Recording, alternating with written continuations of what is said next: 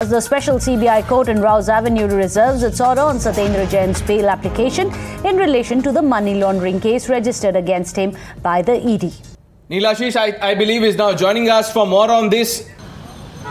Well, yes, Panish, startling statement coming in from Satyendar Jain. In fact, today, the Enforcement Directorate, uh, during Satyendar Jain's bail hearing, informed the court that uh, they confronted him with documents regarding one uh, Lala Sher Singh Trust where apparently he was the president and showed him his signatures. Uh, Satyendar Jain apparently told the Enforcement Directorate that he never knew anything about the trust and his signatures needed to be matched. Uh, when he was questioned further, he said, I have lost my memory due to COVID and uh, thereafter I, I have uh, difficulty remembering things. So, of course, a very, very uh, intriguing statement coming in from Satyendar Jain. Uh, of course, this was mentioned by the Enforcement Directorate while opposing Satyendar Jain's uh, bail application in the Rouse Avenue court today. And the court has, in fact, now reserved its order. Also, the Enforcement Directorate did say that they're already inter interrogating him.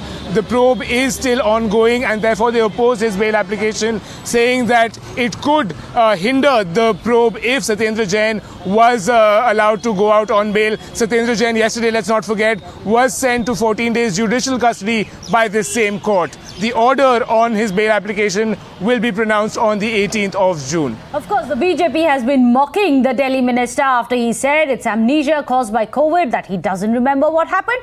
Not something which is plausible as per the BJP. Thank you so much. Keep tracking the developments on that front, Neelashish.